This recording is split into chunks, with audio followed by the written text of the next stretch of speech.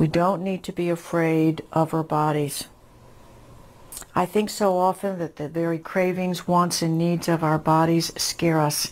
So it's easier to put a cap on it. It's easier to say, well, beneath, you know, from the neck down is this sort of strange territory that's always getting me in trouble. It doesn't look the way I want it to look. It doesn't do what I want.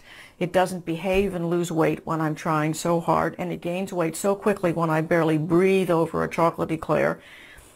I'm afraid of my body, and the antidote is to make friends with our bodies right now, with all the things that we like and the things that we don't. What's in the way of making friends right now with your body? Because you know why? Friends can work together. An enemy isn't someone that's going to work with you. And you want your body to work with you in harmony with you, helping you. Translated into physical terms, that means enhancing your metabolism, strengthening your endocrine system, streamlining your digestive system.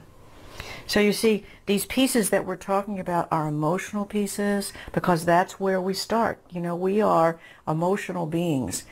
But one of the things that I think is so fascinating is, and the journey I'm going to be taking you on in this conversation, if we, if you continue with me with this conversation, is into the nature of our body and how we make friends with our body. What is our body asking of us? And as we answer the questions, we discover a new relationship with our body, a body that we're not afraid of.